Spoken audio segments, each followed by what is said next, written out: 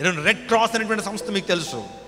Red cross అనేటువంటి సంస్థను ప్రారంభించిన వాడు హెన్రీ జ్యూనాంట్ రెండో ప్రపంచ యుద్ధ కాలంలో యుద్ధం జరుగుతూ ఉంది. అనేక మంది సైనికులు ఆ యుద్ధ భూమిలో కాళ్ళు చేతులు పడిపోయి తెగ్గట్టుబడి రక్తాల కారుతో కనిపించాడు. ఒక్కసారి వెళ్తారు హెన్రీ.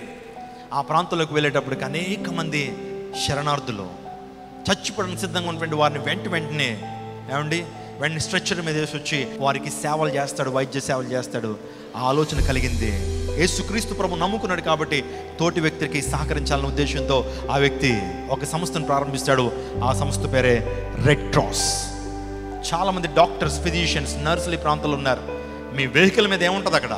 మీ కార్ల మీద మీ బైకుల మీద ఒక సింబల్ వేసుకుంటారు. ఏంటది? రెడ్ క్రాస్ అది ఎవరు ప్రారంభించారు తెలుసా? ఒక క్రైస్తవుడు ప్రారంభించాడు. కొన్ని కోట్ల మందికి ఈరోజు తీవ్రకరంగా ఉంది. ఎక్కడైనా డిజాస్టర్స్ జరగనివ్వండి. కరువులు కానీ భూకంపాలు కానీ సునామీలు కానీ ఎక్కడన్నా యాక్సిడెంట్లు కానీ జరిగితే మొదట వెళ్ళేది ఎవరంటే రెడ్ క్రాస్ వాళ్ళే. గవర్నమెంట్ వాళ్ళు కూడా వెళ్ళరండి ముందు. దానికి ముందుగా వెళ్ళి రెడ్ క్రాస్ వెళ్ళి అక్కడ పరిచయం చేస్తారు. ఆ ప్రేరణ ఎక్కడి నుంచి? ఆ గ్రంథం చెప్పినటువంటి మాటలు క్రైస్తవ్యానికి మిగతా మతానికి తేడా ఉన్నాయా లేవా? ఈరోజు పోలియో డ్రగ్. ఇజ్రాయెల్ మీరు చూడండి. పోలియో డ్రాగ్ని కనిపెట్టడం ప్రపంచానికి ఫ్రీగా కానుక ఇచ్చేయడం కోట్ల రూపాయలు ఖర్చు పెట్టే మందును వ్యాక్సినేషన్ కనిపెట్టి ప్రపంచానికి ఉచితంగా ఇచ్చారే? సమస్య పోయింది ఎలాగా?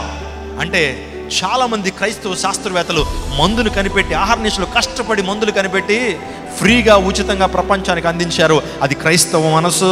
హైబ్రిడ్ విత్తనాలు కనిపెట్టి ఇజ్రాయెల్ హైబ్రిడ్ విత్తనాలు కనిపెట్టి డిప్రిగేషన్ ఇదంతా ఒక టెక్నాలజీ అంతా డెవలప్ చేసి ప్రపంచానికి కానుక ఇవ్వట్లేదా? ఎక్కడి నుంచి ప్రేరణ అంటే ఈరోజు గ్రంథంలో బైబిల్ గ్రంథంలో చెప్పబడిన మాటను క్రైస్తవుడు పాటిస్తాడు. అమెరికాని ప్రారంభించినటువంటి ఆ జార్జ్ వాషింగ్టన్ వారి యొక్క లాలో ఉంటుంది ఏంటో తెలుసా? ప్రజలకు సేవ చేయాలా?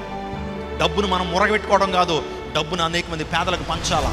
భారతదేశానికి కొన్ని కోట్ల రూపాయలు పంపిస్తూ ఉన్నారు. పాకిస్తాన్కి కొన్ని కోట్ల రూపాయలు పంపిస్తూ ఉన్నారు. వారు ఏ కులమైనా ఏ మతమైనా ఎలాంటి వారైనా సరే అమెరికా దేశం ఏం చేస్తూ ఉంది ఈ రోజున?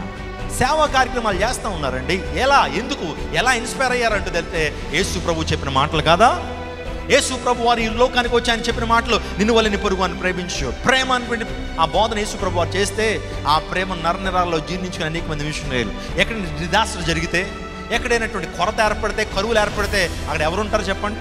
ఈరోజు నా అమెరికా దేశం ఆలోచించేయండి యుఎన్ఓ యునెస్కో అని చెప్పి చాలా చాలా సంస్థలు ప్రారంభించి ప్రపంచ దేశాల సువార్తను మాత్రమే కాదు అనేకమైన సాంఘిక కార్యక్రమాలు కూడా జరిగిస్తూ ఉన్నారు అమెరికన్స్. అమెరికన్స్ మాత్రం ప్రతి క్రిస్టియన్ కంట్రీ. ఒక భావన కలిగి ఉంటుంది. వారికి వచ్చిన సంపాదనలో పేదలకు ఇవ్వాలా?